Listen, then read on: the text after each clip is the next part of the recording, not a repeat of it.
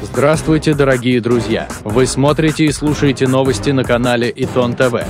Все самые главные и важные события дня в Израиле и мире в одной программе прямо сейчас на нашем канале. Сегодня 21 октября, понедельник, 381 день войны в Израиле.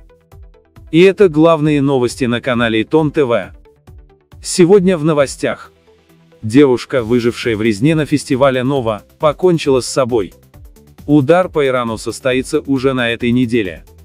Эксперт предсказал, что победа Камалы Харрис на выборах обернется серьезными проблемами для Израиля. Президент Сирии Башар Асад не хочет войны с Израилем. Сахал уничтожает финансовую структуру Хизбаллы в Бейруте.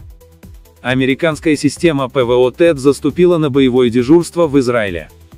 В секторе Газа погиб командир 401-й бронетанковой бригады. Бывший гендиректор Сода Стрим получил десятки сообщений на арабском языке о местонахождении заложников. В Беларуси запретили русские народные сказки, сказки Пушкина и Букварь, изданные в Москве. Друзья, служба новостей канала Итон ТВ напоминает вам, что нужно ставить лайки, писать комментарии и подписываться на наш канал. Это нужно для того, чтобы правильные новости увидело как можно больше людей. Шираль Галан, выжившая в резне на фестивале Ново 7 октября, покончила с собой в свой 22 день рождения. 20 октября родные нашли ее бездыханной во дворе ее дома в Машаве Парад. Шираль была старшей дочерью в семье. У нее остались родители и четверо братьев и сестер. Родные замечали у Шираль симптомы посттравматического расстройства и старались глаз с нее не спускать. Ранее у девушки развелась депрессия и ее дважды госпитализировали. Брат погибший резко раскритиковал правительство за отсутствие помощи выжившим. Вчера 20 октября израильский источник сообщил новостной службе КАН, что Израиль готовится к очень существенному удару по Ирану. Также вчера вечером на базе Минобороны Кирия прошло заседание военно-политического кабинета министров. Вполне вероятно, что на этом заседании премьер-министр Беньямин Нетаньягу и министр обороны Яав Галанд были уполномочены принять окончательное решение о том, когда именно Израиль атакует Иран. Не исключено, что это произойдет на текущей неделе. В Израиле понимают, что Иран не сможет не ответить на планируемый удар. Поэтому проводится специальная подготовка и в плане обороны. Укрепление сил ПВО американской батареи – один из шагов в рамках этой подготовки. Президент США Джо Байден в минувшую пятницу сказал, что ему известно, когда и как Израиль предпримет ответные меры против Ирана. Но с тех пор произошло одно неприятное событие, которое, возможно, заставило Израиль скорректировать планы и сроки атаки. В сеть утекли американские военные документы о подготовке Израиля к нападению на Иран. Американский политический эксперт Джонатан Коэн в интервью газете Washington Observer заявил, что в случае победы Камалы Харрис на предстоящих президентских выборах, Израиль может столкнуться с серьезными проблемами в отношениях с США. По мнению Коина, администрация Харрис будет придерживаться более жесткой политики по отношению к Израилю, что может включать сокращение поставок вооружений, а в крайнем случае введение эмбарго.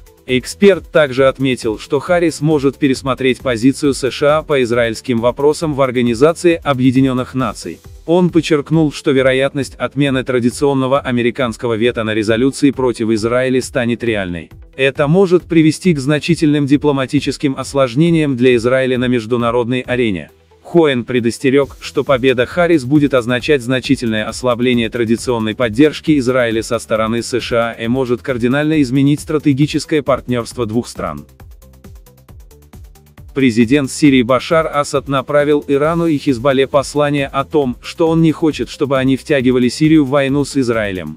Асад также предупредил Иран и Хизбаллу, что постоянные израильские атаки на иранские объекты и объекты Хизбаллы в глубине Сирии могут пошатнуть его власть. А без него у оси Иран, Сирия, Хизбалла не будет стратегической глубины. Обозреватели телеканала отмечают, что Башар Асад пытается в нынешнем конфликте проскользнуть между каплями, и его приверженность иранской оси находится под сомнением. Быть втянутым в многостороннюю кампанию против Израиля Асад явно не хочет.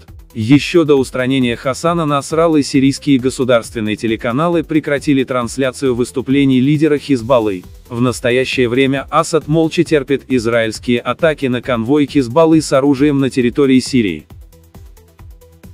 Друзья, хотим вам напомнить, что нужно ставить лайки, писать комментарии и подписываться на наш канал. Это нужно для того, чтобы правильные новости увидело как можно больше людей. Ночью Израиль нанес серию авиаударов по отделениям банка Хизбаллы, Аль-Карт Аль-Хасан. Перед этим спикер Цахал на арабском языке призвал ливанских граждан держаться подальше от филиалов Аль-Карт Аль-Хасан.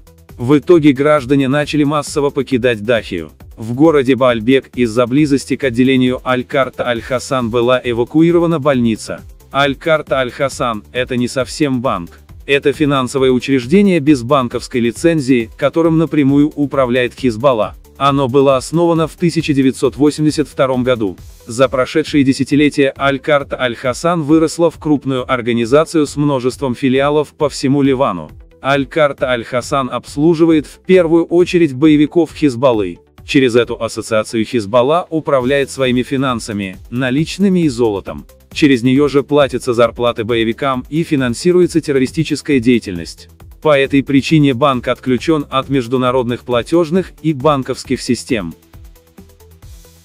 Американская система ПВО ТЭД полностью развернута в Израиле. Вчера она заступила на боевое дежурство. Об этом сообщили вечером два израильских чиновника. Вступление системы в строй, помимо прочего, приближает момент израильской атаки по Ирану. За последнюю неделю более 20 американских транспортных самолетов доставили и выгрузили тонны оборудования для батарей ТЭТ на базах ВВС в Израиле. Они перевезли грузовики с пусковыми установками, радары, ракеты-перехватчики и другие детали системы. Прибыл также обслуживающий персонал, сотни американских солдат, отвечающих за эксплуатацию системы. Батарея будет работать во взаимодействии с ВВС Израиля и другими средствами ПВО.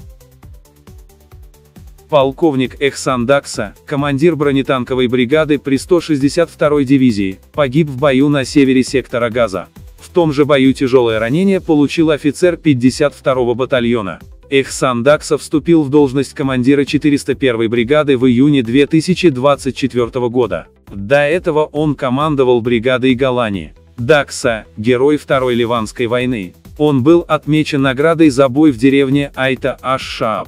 Капитан Дакса тогда был командиром роты, потом командовал бронетанковым соединением, приданным десантной бригаде. Вечная память павшим героям Израиля. Бывший генеральный директор компании SodaStream Даниэль Бринбаум, пообещавший так называемым хорошим людям из сектора газа крупное денежное вознаграждение за помощь в освобождении похищенных, сообщил, что получил десятки сообщений на арабском языке, некоторые из которых, возможно, не сфабрикованы. Свое решение Даниэль Бринбаум объяснил тем, что после ликвидации Яхи Синуара он хотел помочь освобождению заложников, поэтому предложил награду в 100 тысяч долларов наличными или в биткоинах за каждого похищенного израильтянина.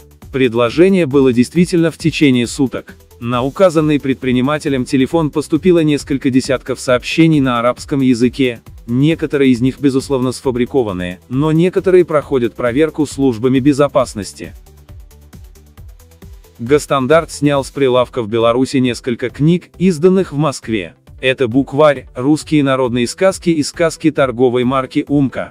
Как сообщают в ведомстве, продукция не соответствует требованиям технического регламента Таможенного союза о безопасности продукции, предназначенной для детей и подростков по безопасности издательской книжной и журнальной продукции. Но скрытая причина такого недружественного шага, по мнению белорусских аналитиков, возможно в том, что власти Беларуси опасаются, что эти книги являются инструментом скрытого влияния России. Через народные сказки и произведения Пушкина может вестись завуалированная идеологическая пропаганда, направленная на укрепление русской культурной идентичности в молодом поколении белорусов. В таких произведениях, якобы, могут скрываться коды и символы, укрепляющие пророссийские настроения и поощряющие интеграцию Беларуси в русский мир. Это были главные новости дня на канале Итон ТВ. Служба новостей канала Итон ТВ просит вас ставить лайки под нашими видео, писать комментарии и подписываться на наш канал. Это нужно для того, чтобы правильные новости увидела как можно больше. Это были главные новости дня на канале Итон ТВ. Чтобы не пропустить главные новости дня, подписывайтесь на наш канал.